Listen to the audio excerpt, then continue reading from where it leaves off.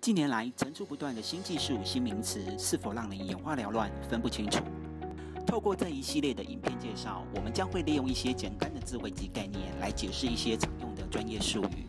那么，什么是物联网呢？其实这个名词指的是与连接到网络的对象。让我们用一个简单的例子来解释什么是物联网。它就是蜂蜜生态系统。